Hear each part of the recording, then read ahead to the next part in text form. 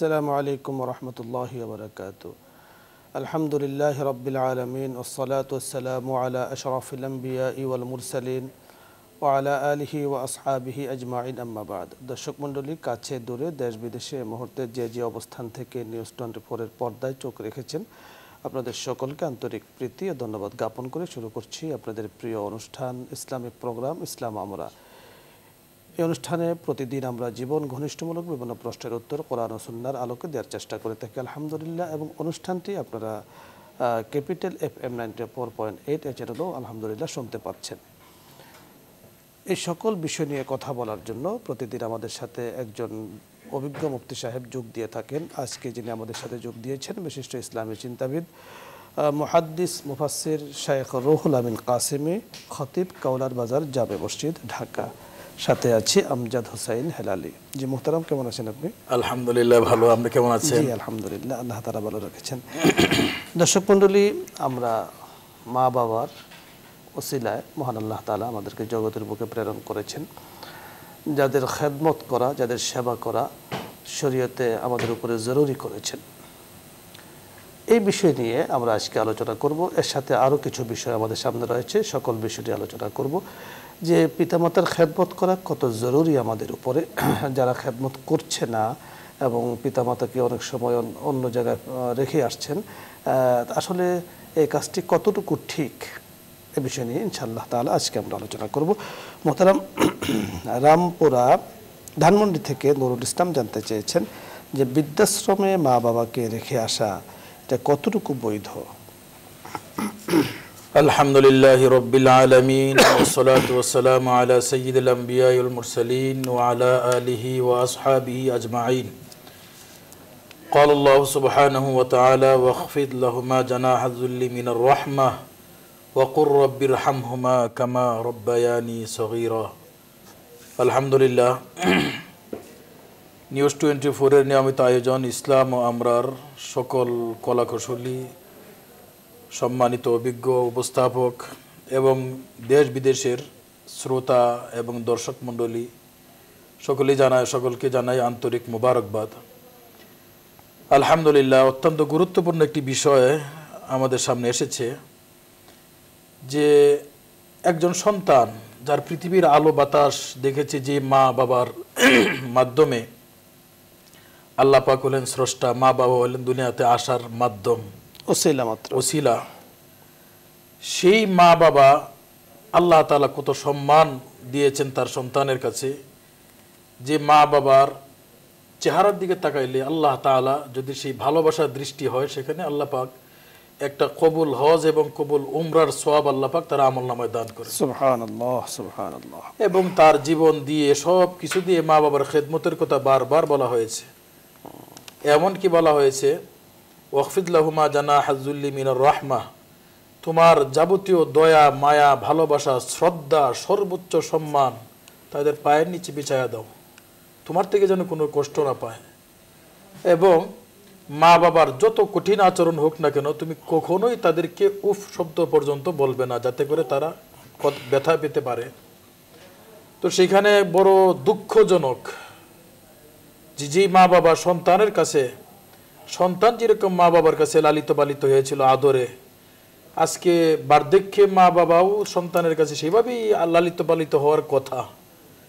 কিন্তু আজকে এক শ্রেণির মানুষ যারা তার মা বাবাকে তার ঘরে রাখতে মানে তারা স্বাচ্ছন্দ্য বোধ করে না, বিরক্ত মনে করে এবং মা বাবাকে দূরে কোথাও, যেহেতু মারা যায়নি, আমার মনে হয় মারা গেলে কবর দেওয়াই হতো যেহেতু মারা যায়নি, কি করা যায়? এটা জটিল একটা বিষয় হয়ে গেল এবং তাদেরকে বৃদ্ধাশ্রমে রেখে আসছে, যেখানে অত্যন্ত কঠিন এবং মানবতর জীবনযাপন।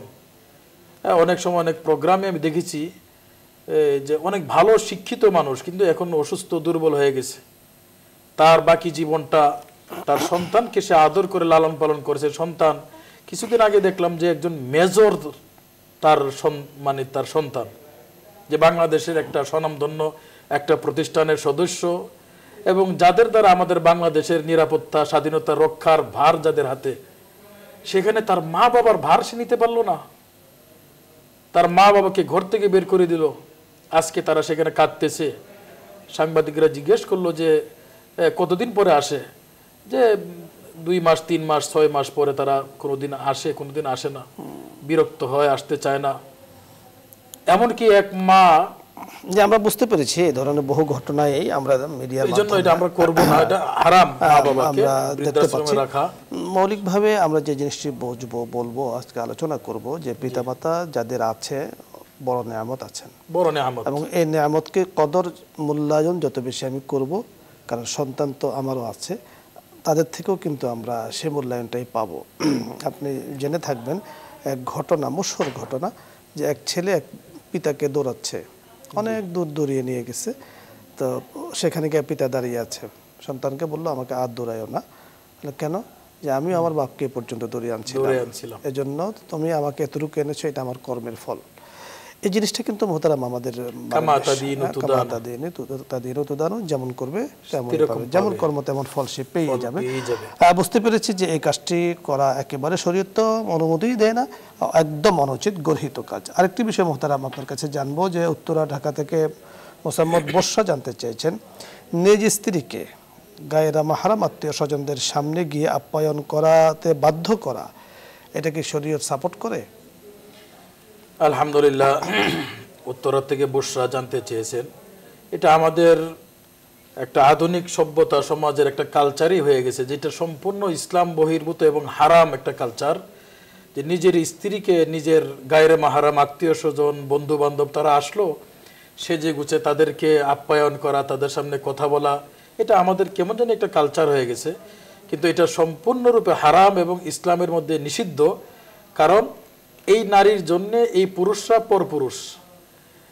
এখানে একজন পুরুষ যখন তার স্ত্রীর দিকে তাকালো, আর স্ত্রীও যখন তাদের সঙ্গে আপ্যায়ন করতে গিয়ে তাকালো, তো এটা আল্লাহ রাসুলের হাদিসের ভাষ্য অনুযায়ী বুখারি শরীফের মধ্যে আসছে যে নারী এবং পুরুষের পরস্পরের দৃষ্টি বিনিময়, এটা যদি বিনা কারণে হয়ে থাকে এবং একজন আর একজনের দিকে তাকায়, তো সেটা যেন চোখের জিনা হয়ে গেল।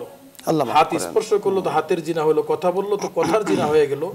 এবং এইগুলিও এক প্রকারের জিনার সমতুল্য এবং হারাম। চোখের যেটা হ্যাঁ। হয় জন্য হারাম মানে শরীয়ত এটা এই বিষয়টাকে এই ধরনের কাজকে কোনোভাবে এমনকি স্ত্রীর জন্য স্বামী বাধ্য করে সেটা মানাও তার জন্য জরুরি না। এবং এটার জন্য হারাম গুণাগার হবে তার স্বামী। যে আরেকটি বিষয় মোতারাম আপনার কাছে জানব। বসুন্ধরা কুড়িল থেকে মুশফিকুর রহমান জানতে চেয়েছেন গোসলের পর নামাজের জন্য পুনরায় অজু করতে হবে কি? আলহামদুলিল্লাহ বসুন্ধরার কুরিল থেকে মোহাম্মদ মুশফিকুর রহমান জানতে চেয়েছেন যে বিষয়টা। এটা হজরতে আয়েশা রাজি আল্লাহ তালা আন্নার রেওয়ায়তে তিরমিজি শরীফের মধ্যে আসছে যে আল্লাহ রাসূল সাল্লাম কানা ইয়াগতাসিলু ওয়া ইউসাল্লি ওয়া লা ইয়াতাওয়াজ্জা। আল্লাহ রাসুল গোসল করেছেন এবং এরপরই তিনি নামাজ আদায় করেছেন। গোসল এবং নামাজের মাঝখানে অজু করেননি। হযরত ওমর ফারুক রাদিয়াল্লাহু তাআলা আনহু থেকেও রিওয়ায়াত আসছে যে আল্লাহ রাসূল গোসল করেই নামাজ আদায় করেছেন এবং এখানে আর মাঝখানে অজুর করার অজু করেননি এবং প্রয়োজন বোধ করেননি। তো এর দ্বারা আমরা বুঝি যে এবং হাদিসের মধ্যে আসছে যে অজু যখন গোসল যখন করে ফেললে তো অজু তো তার চাইতে অনেক ছোট, তো তার কি প্রয়োজন? যখন তুমি বড়টাই করে ফেললে, হাদিস শরীফের আল্লাহ রাসুল বলছেন যে যে এখানে আর অজুর কি প্রয়োজন? এখানে একটি বিষয় আমরা পরিষ্কার আলোচনা করব সেটা হলো যে গোসলের যে ফরজগুলো আছে সেটা কিন্তু অবশ্যই আদায় হ্যাঁ, করতে হ্যাঁ, হবে। অবশ্যই পালন করতে হবে, গোসলের যে তিনটা ফরজ গোসলের যে গড়গড়া করা নাকে পানি দেওয়া। নাকে পানি দেওয়ার ক্ষেত্রে আমরা আরেকটি বিষয় আলোচনা করব। অনেকে নাকে পানি যেভাবে দেয় দিয়ে থাকে যে হাতটাকে ভিজিয়ে আঙ্গুলগুলোকে ভিজিয়ে নাকের ভিতরে ঢুকিয়ে দেয় ওটাকে ভিজায়। আসলে তো সেখানে মূলত পানি পৌঁছে পানি পৌঁছানো তবে এত বেশি পানি আবার পৌঁছানো ঠিক হবে না যার কারণে ক্ষতি হয় নাকের মানে নরম জায়গা পর্যন্ত পৌঁছে পানি- হ্যাঁ, পানি পৌঁছানো রাখবে। এরপরে পুরো শরীরকে পুরো শরীরটাকে ধৌত করা, তবে ধৌত করতে হবে এভাবে যাতে কোনো অংশ শুকনা না থাকে। এই এইদিকে খেয়াল রাখতে হবে। তাহলে তো তার অজু হয়েই গেল। আর গোসল মানে হ্যাঁ, অজু হয়ে গেল ভিতরেই গোসল- অজু আছে সুতরাং আলাদা অজু করার কোনো প্রয়োজন নাই। এবং ফুকাইকারা এটা মাকরু বলেছেন সুতরাং গোসলের দ্বারাই আমাদের পরবর্তী সমস্ত তাহারাতের আমল নামাজ তেলাওয়াত সবকিছু আমরা করতে পারব। জি আরেকটি বিষয় আপনার কাছে জানব। মগবাজার মিরবাগ থেকে আমিনুল হক জানতে চেয়েছেন যে জানাব মুফতি সাহেব আমি একটু সমস্যায় পড়েছি সেই জন্য আপনাদের কাছে একটি প্রশ্ন জানতে চাচ্ছি সেটা হলো যে হাতে পায়ে প্লাস্টার থাকা অবস্থায় কীভাবে অজু করব? আলহামদুলিল্লাহ অনেকেই অ্যাক্সিডেন্টের কারণে হাতে পায়ে প্লাস্টার হয় এবং তখন তার ওজুর প্রয়োজন হয় এটা গুরুত্বপূর্ণ একটি বিষয়। তো এই ক্ষেত্রে ফুকাইকারা বলেছেন যেহেতু হাত এবং পা ওজুর সময় ধৌত করতে হয় সেটা ফরজ। তো এখানে যদি প্লাস্টার থাকে এবং যে প্লাস্টারটা বীজাণু ডাক্তারের মতে নিষেধ এরকম যদি হয় তাহলে সেই প্লাস্টারের উপরে শুধু হাত ভিজে ভিজা হাতটা মাসে করার মতো সেখানে একটু এ করে নিবে এবং এর দ্বারা তার ওজু হয়ে যাবে। এবং সেইটাও যদি তার সমস্যা হয় যে বীজাণু লাগানো যাবে না তাহলে ওই জায়গাটা বাদ দিয়ে বাকি অংশ যতটুকু ধৌত করা সম্ভব এতটুকু ধৌত করলে ইনশাল্লাহ তার ওজু হয়ে যাবে। এটাকে মাসে বলা মাসে অর্থাৎ মাসে আলাল জাবিরা বেন্ডিজের উপরে মাসে করা যে সিস্টেম মাসে মাসে সিস্টেমটাকে একটু দেখিয়ে দিবেন আমাদেরকে যে কীভাবে মাসে করবে। হাতটা ভিজে তার পুরাটা যে অংশটা তার ধৌত করতে হইতো সেই অংশটার উপর দিয়ে ভিজা হাতটা ঘুরাই দিলেই মুছে দিলেই সেটা মাসা হয়ে গেল। এর সাথে এর সাথে যুক্ত করে আরেকটি বিষয় জানব যে শীতকাল তো আসছে। স্বাগতম আমরা জানাচ্ছি হ্যাঁ, শীতকালকে।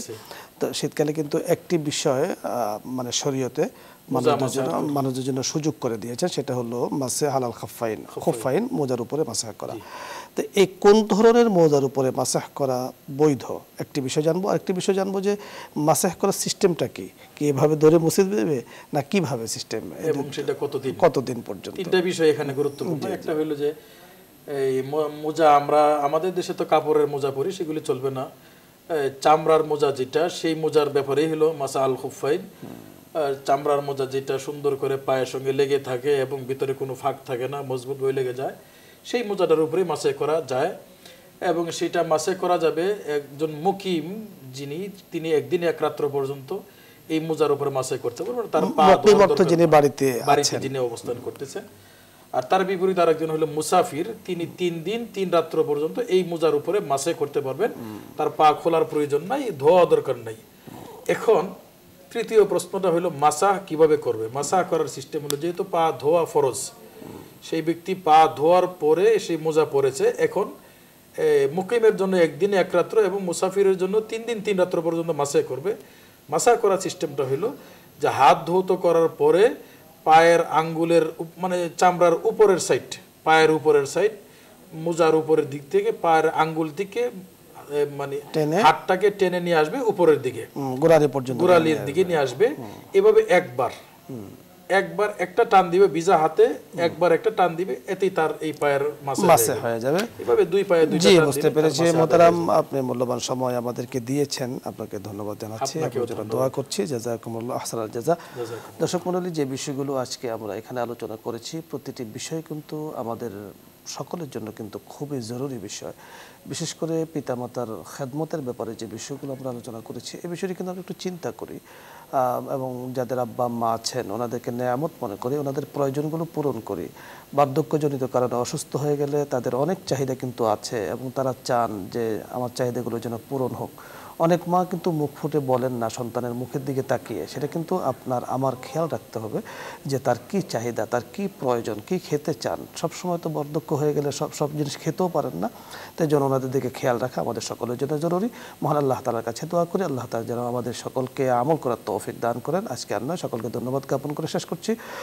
তবে বলব, যারা আছেন, আমাদের সাথে দেখেছেন অনুষ্ঠানটি, সকল আমরা হাত তুলবো আল্লাহ তালার দরবারে, ইচ্ছা করলে হাত তুলতে পারেন। যে মহতারা اللهم آمين ربنا ظلمنا أنفسنا وإن لم تغفر لنا وترحمنا لنكونن من الخاسرين ربنا فاغفر لنا ذنوبنا وكفر عنا سيئاتنا وتوفنا مع الأبرار আমিন রাবুল আলমিন আহকামুল হাকিমিন নিউজ টোয়েন্টি ফোরের যে ইসলামিক এই আয়োজন আল্লাহ তুমি কবল আর মঞ্জুর করে নাও আমিন এর সঙ্গে যারা জড়িত আছেন আল্লাহ তুমি তাদেরকে মাফ করে দাও আল্লাহ মেহরবানি করে এই চ্যানেলকে কিয়ামত পর্যন্ত কায়েম দায়েম ফরমাও আমিন আয় আল্লাহ, আজকে যে বিষয়গুলো আলোচনা হলো, যারা শুনলেন, আল্লাহ প্রত্যেককে আমল করার তৌফিক নসিব ফরমাও।